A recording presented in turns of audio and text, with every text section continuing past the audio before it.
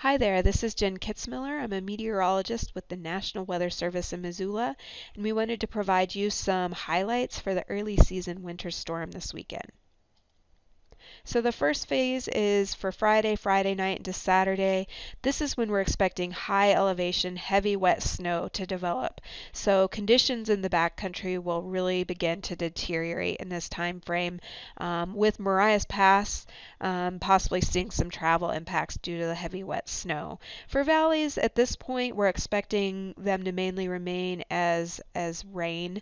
Um, however, we will see some strong gusty winds developing from the northeast northeast to the east, with the strongest winds expected across northwest Montana through the Flathead Valley and maybe over Flathead Lake, where we could see wind gusts in excess of 50 miles per hour.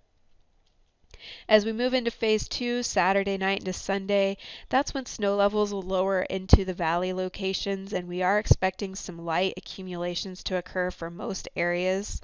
Um, as far as roadways go, we may not see a lot of accumulation. However, for grassy surfaces and the trees, we could see some accumulations that could cause some issues for tree branches and maybe power lines. Then phase three, as the snow moves out on Monday and Tuesday, we'll be left with an abnormally cold air mass. Um, so we're going to be looking at overnight lows in the 20s, maybe even some teens along the continental divide. So a hard freeze, which could cause some issues for irrigation systems, and it also may allow for melting snow to freeze on roadways and, and cause some difficult travel at times. So a summary of our concerns, the dangerous backcountry conditions is a big one.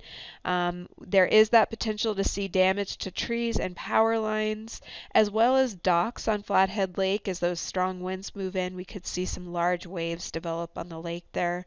Um, travel impacts, particularly over the mountain passes along the Continental Divide.